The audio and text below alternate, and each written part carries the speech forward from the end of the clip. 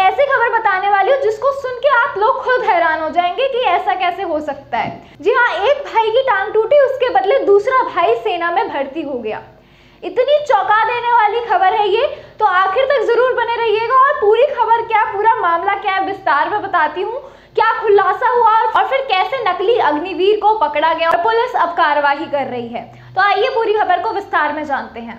दानापुर फर्जी दस्तावेज़ तैयार कर बिहार रेजिमेंट में अग्निवीर जीडी पद पर अभ्यर्थी को सेना बोर्ड के अधिकारी ने पकड़कर पुलिस के हवाले कर दिया।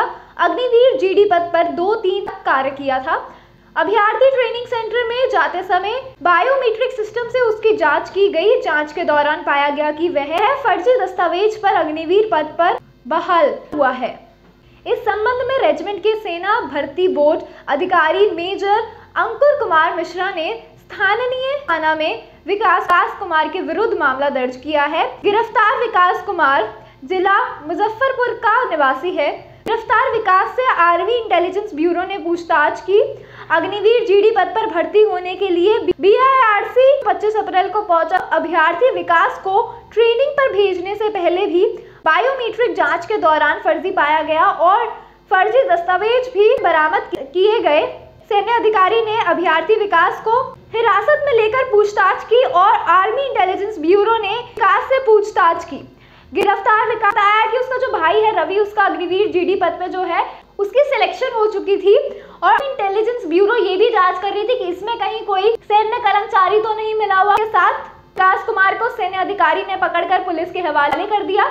गिरफ़्तार विकास के पास दस्तावेज़ भी फर्जी है। विकास से पूछताछ के बाद हिरासत में भेज दिया।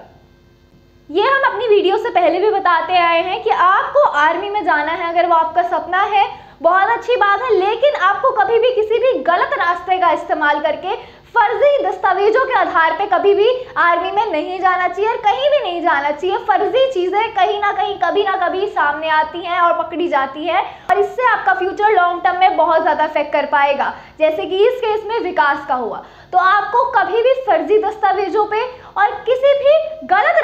रास्ते पे चल के किसी भी नौकरी, आर्मी की बात नहीं है या किसी भी नौकरी की बात है, आपको किसी भी नौकरी में फर्जी दस्तावेज़, झूठ बोलकर, गलत रास्ते पे चलकर नहीं जाना है। अगर आपके अंदर काबिलियत है, आपके अंदर जज्बा और आपके अंदर हुनर है तो आप आर्मी, नेवी एयरफोर्स या जिस भी क्षेत्र में जाना चाहते हैं, जो भी काम करना चाहते हैं, वो आप कर सकते हैं। फिर आप खुद को उतना सक्षम बना लें।